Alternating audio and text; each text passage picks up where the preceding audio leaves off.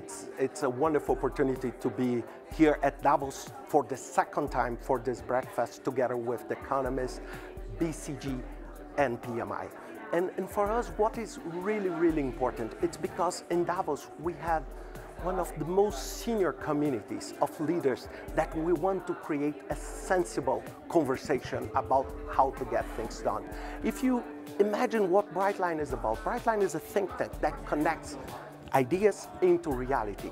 And today's panel was a wonderful opportunity for us to discuss one aspect of this, that is, what is the human aspect vis-a-vis -vis all the technology and all the transformation, how the human force the woman workforce will be shaping the future. So we have a wonderful panel here together with Adecco, MasterCard, British Telecom, and BCG, talking exactly about this, how the new workforce will shape the future. And we have some fantastic insights some of them that confirms what we said last year about the concept of people act on their own self-interest.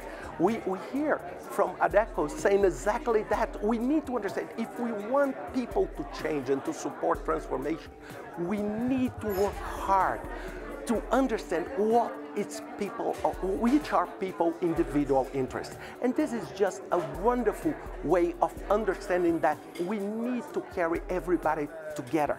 Another thing that was critical is the sense of purpose on the work you do.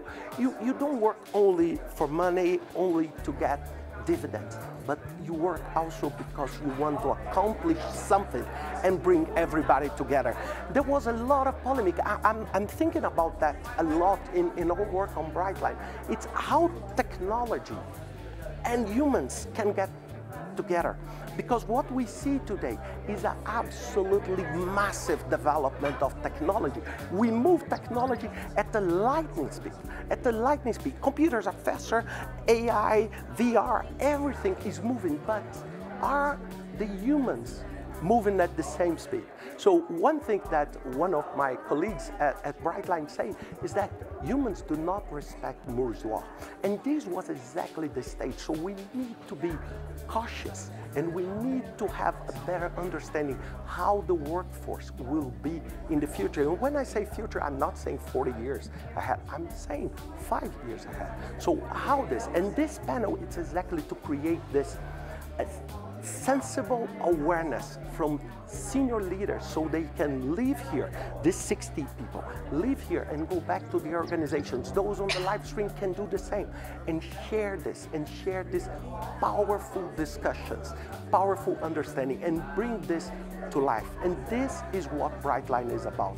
It's how we can work together to connect ideas to results and results that improve not only business, but improve the society in general. So I'm very happy to be here and I'm looking forward to have all of you next year here at Davos again to talk and share about how we shape the future.